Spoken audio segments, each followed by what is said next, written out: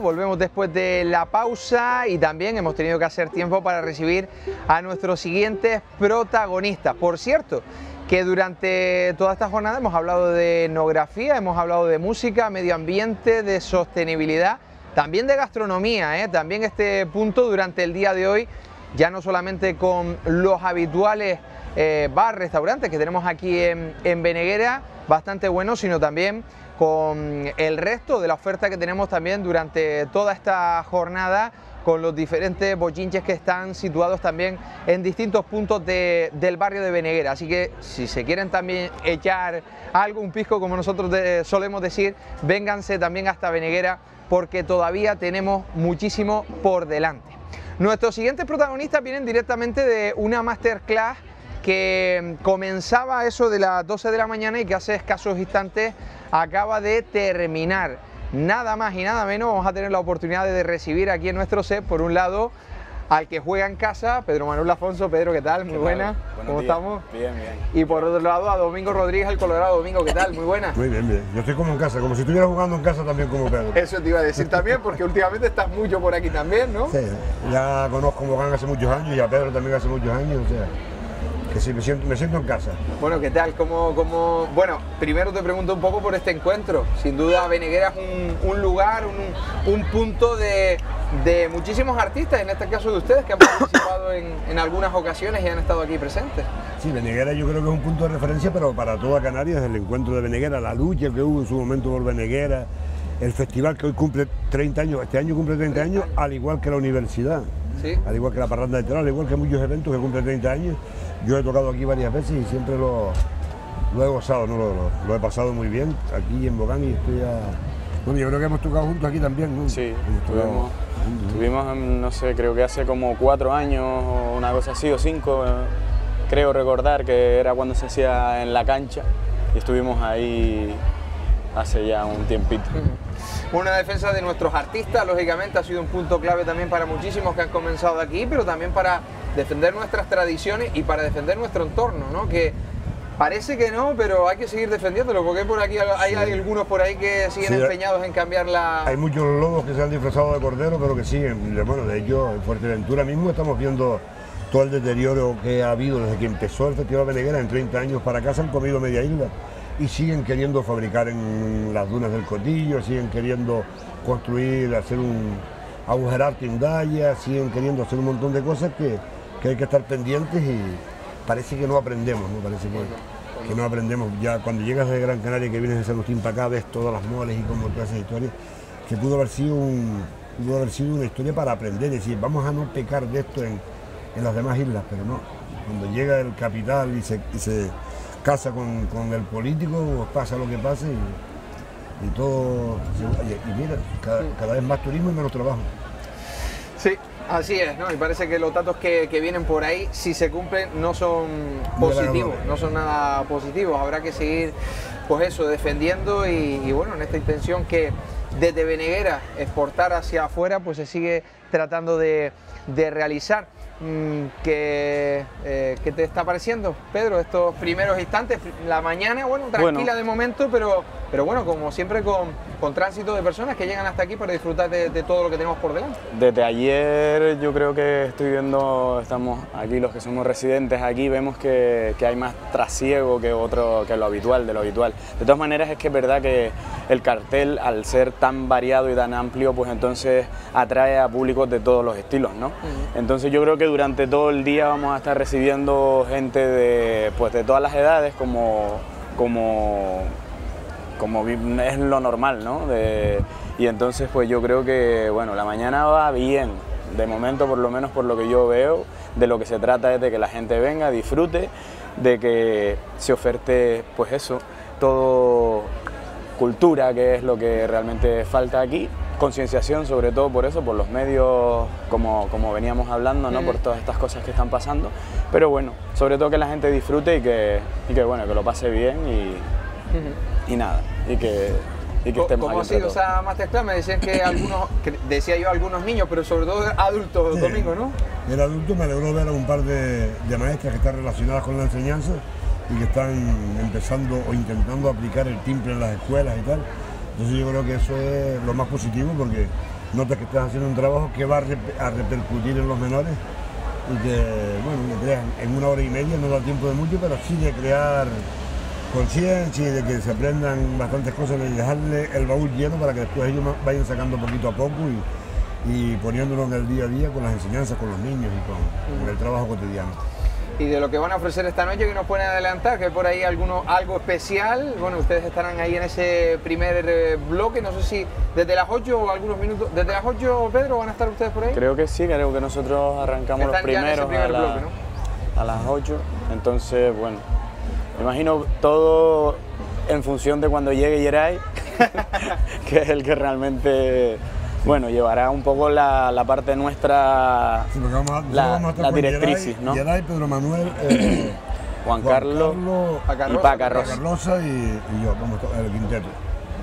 Y no, bueno, haremos algo instrumental, musical, tal, pero Yeray normalmente, que Yeray es un hombre, cuando llega al escenario se lo come con la improvisación y tal, me imagino que será, mucha parte se versará en torno a la improvisación. Bueno, como están aquí, no podíamos desaprovechar la oportunidad de que nos hicieran algo, ¿no? No sé si relacionado con Venezuela o no, pero, bueno, les dejamos a ustedes la oportunidad de también a todos los que nos siguen, por cierto, recordamos que estamos en directo a través de la televisión, en la radio y también a través de nuestro perfil en Facebook. Ahí nos pueden buscar en Radio Televisión Mogán, en donde estamos emitiendo durante, durante esta mañana. Así que lo que vamos a hacer es presentar, nos van a actuar, van a actuar para nosotros y para todos ustedes también, a Domingo Rodríguez el Colorado y Pedro Manuel Afonso.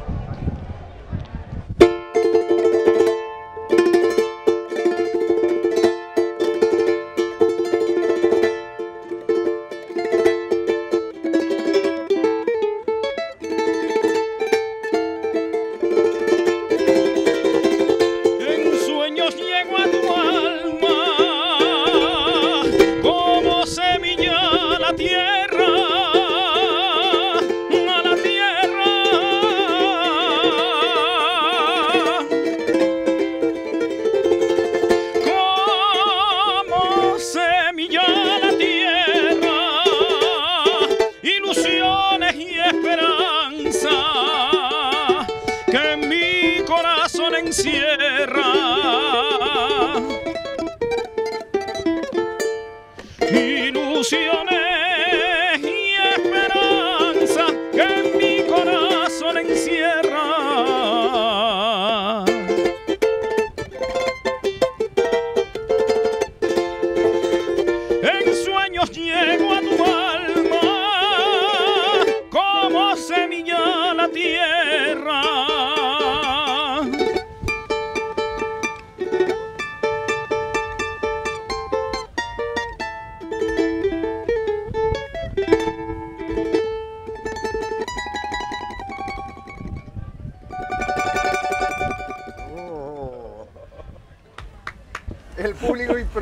También, ¿eh? aquí en, en Esto tiene también parte del encuentro. Oye, gracias a los dos. Muchísimas gracias por, por, estar con nosotros y nada, los vemos esta noche en el, en el gran festival. Ahí estaremos. Ahí estaremos. También es verdad que hay que saludar a todos los que en algún momento nos van a seguir en nuestras eh, diferentes redifusiones al igual que, como comentamos al principio de la retransmisión, también en el resto de nuestro país a través de las cadenas asociadas a cadena local. A todos les damos la bienvenida por si se incorporan aquí a nuestro directo hoy desde Beneguera con motivo de la trigésima edición. Continuamos adelante para hablar con más protagonistas porque ya saben, hay por aquí, pues en los diferentes stands, no solamente puestos de artesanos, sino también de algunos colectivos que, eh, pues lógicamente, eh, llevan adelante su labor. En este caso, concretamente, vamos a, hablar, vamos a hablar de algo que ha estado de actualidad durante todo este año 2019, o mejor dicho, en esta parte, en el intermedio de este año 2019, y es esa declaración como Patrimonio Mundial de Risco Caído en las Montañas Sagradas de Gran Canaria. Con nosotros tenemos a uno de los técnicos del Cabildo que trabajan dentro de este proyecto. Él es Octavio Pineda. Octavio, ¿qué tal? Muy buenas. Buenas, buenas tardes, gracias. ¿Qué tal? ¿Cómo estamos, Octavio? Encantado, bueno, aquí con el buen tiempo en Beneguera y con la, con la super acogida de, lo que es el municipio para nosotros y para todos los que han van participando. Decía yo que, bueno, tenemos stand de todo tipo y en este caso ustedes también, el Cabildo ha querido tener un stand precisamente para darle valor, por si todavía nadie se ha enterado de que eh, pues esto ha ocurrido en este año 2019, que es un hecho sin duda histórico. Sí, nosotros cuando hablamos con el Ayuntamiento de Mogán eh, nos parecía que la parte no solo musical, que bueno, el Risco Caído es otro tipo de música, vamos a decir, música geológica, pero, pero la parte de etnografía y la parte de medio ambiente, en realidad el paisaje cultural está muy, muy, muy vinculado a, un espacio de la, de la, isla, de la cumbre, sobre todo de Gran Canaria, y a la etnografía, ¿no? a esa forma de vivir, a esa forma de, de ser y de estar en un lugar tan peculiar. Eh, entonces hemos querido venir a presentarlo, a, mostrar lo que, la, importancia del patrimonio mundial y poner en valor un poco un, territorio fundamental para la isla que además tiene vínculos con todo lo que es la, zona sur también, porque obviamente muchos arrieros y muchos trabajadores bajaron a las zonas costeras y el vínculo cumbre y costa yo creo que, está ahí. O sea que no podían perder la oportunidad de estar presentes en un encuentro que precisamente se trata de de todos estos valores que, acabas de comentar. Están ustedes en la Cardonera y en un pequeño espacio. Sí, tenemos un, hemos hecho una pequeña exposición fotográfica, un, un pequeño espacio, la verdad que muy agradable en la Cardonera. Eh, hemos hecho una exposición de fotos dedicadas a los diferentes valores del patrimonio mundial. Eh, son fotos de Nacho González, Oramas, un fotógrafo bueno, muy reputado en Gran Canaria y en Canarias, eh, que, ha trabajado con nosotros en la candidatura preparando el, dossier que presentamos a UNESCO. Muchas de sus fotos están dentro del dossier y luego hemos seleccionado unos cuantos vídeos que presentan pues, los diferentes aspectos que, tiene el patrimonio, que es un paisaje cultural. Tenemos un vídeo de Chede y Reyes, que es un documental con guion de Alexis Ravelo. Tenemos un pequeño corto de 7 minutos de Tarek Ode, que es un fotógrafo también muy importante, con guion de, Oscar, eh, de Osvaldo Guerra. Y por último tenemos unas entrevistas pequeñas a los protagonistas, a la gente que realmente hace que el paisaje arriba sea, esté vivo, mm. siga vivo. Sin duda ha sido un año histórico por, por, esta declaración y para todos los que envuelven el proyecto me imagino que ha sido, pues eso, lo, lo, tendrán siempre en mente porque ha sido mucho el trabajo, se puso en valor sobre todo una vez que se eh, producía esta declaración, precisamente que pese al cambio político que ha habido durante todos estos años, nunca se ha perdido en cuenta el objetivo que tenían todos y todas. El proyecto en realidad tuvo una unidad política que, que, ejemplar, vamos a poder decirlo. Realmente el proyecto se inició mucho tiempo atrás y fue tomando forma. Eh, la UNESCO tiene diferentes categorías y fuimos entendiendo que ya lo que el relato que tiene arriba la cumbre no es un relato únicamente arqueológico, también hay un paisaje, gente que vive con tradiciones que se mantienen, el hábitat troglodita que desde los antiguos canarios hasta ahora pues pervive.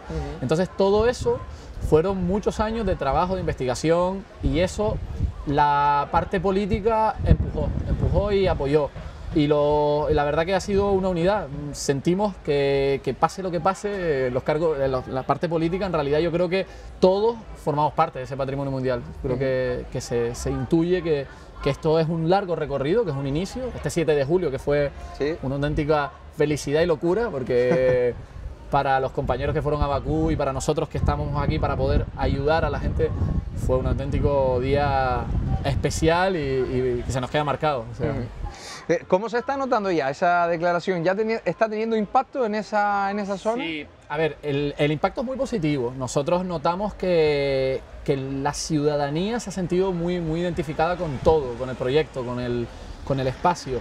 La gente de allí está muy ilusionada, los colectivos. Nosotros, uno de los fundamentos es que reviva la cumbre. O sea, la cumbre en algunos lugares pues ha tenido mucha pérdida de población. Entonces, el patrimonio mundial realmente reivindica un lugar eh, con un potencial brutal eh, a nivel ecológico, a nivel paisajístico, a nivel eh, incluso de condiciones de vida. Entonces, la gente que está allí, que nosotros nos interesa mucho hablar con ellos, yo creo que todos han notado eso. Luego ha venido este pequeño drama de agosto, que fue un poco un jarro de agua fría, pero que bueno, que se va viendo que, se va a salir perfectamente, que, bueno, tendrá un proceso, pero que el Cabildo ya en su se va poniendo las herramientas para volver a regenerarlo.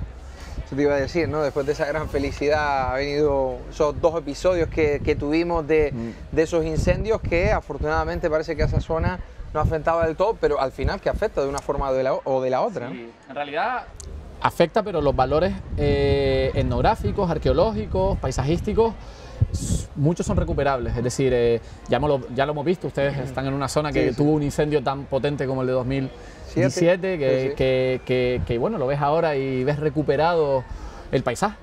y bueno, esto tiene que ser esa la idea. Nosotros siempre decimos que si conseguimos ser patrimonio mundial en poco tiempo, ¿cómo no vamos a conseguir recuperarlo? O sea, si ya hemos demostrado con creces que sacar de, de una de la nada, De, que no había ningún proyecto, conseguir ponerlo en el lugar que se ha puesto, volver a recuperar la isla es, otro reto más que, que, se va a conseguir.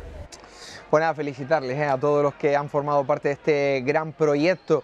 Eh, bueno, aparte de hablar de, este tu tema, ¿no? que ha sido trabajo de ustedes durante tanto tiempo, te pregunto un poco sobre, sobre el encuentro, qué te está pareciendo y, bueno, no sé si te vas a quedar también a lo que tenemos por delante durante la tarde noche de hoy. Bueno, yo en todo, o sea, nosotros estamos en una zona muy agradable, la cartonera es un espacio que ya tiene conciertos, estamos muy cerca además, tenemos la zona de Beneguera justo encima, que es la, la fotografía, y hombre, el ambiente es yo vine varias veces durante mucho tiempo, no como participante, sino como, como espectador.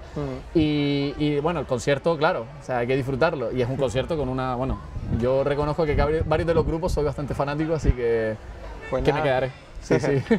pues Octavio, nada, te agradecemos muchísimo que hayas estado aquí con nosotros, que te siga viendo bien durante toda la jornada, que la gente se entere de esa historia que tenemos ahí, que hay que ponerle el valor y hay que estar orgullosos de la misma. Y nada, vuelvo a decir, felicitarles a todos los que han formado parte de este proyecto, ¿vale? Muchas gracias. Gracias. vamos a hacer un alto en el camino, nos vamos a ir a publicidad y a la vuelta continuamos de nuevo en directo.